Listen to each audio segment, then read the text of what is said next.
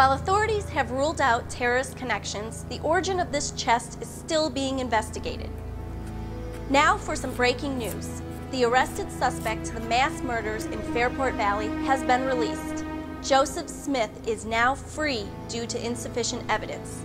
Police say the weapon used in all four murders was an axe, but no weapon has ever been found. Smith has always stated that he was innocent and possibly framed for the heinous murders of four families in Fairport Valley. We will continue to update this story as new information becomes available.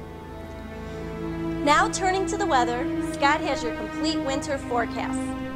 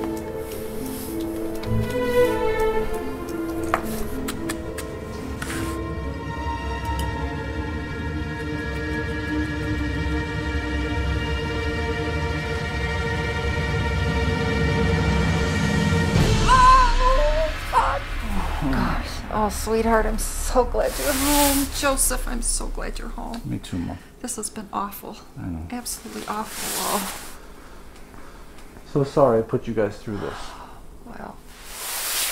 Well, it's over. Listen, dinner's almost ready. Great. Help me set the table. Sure, okay. Okay.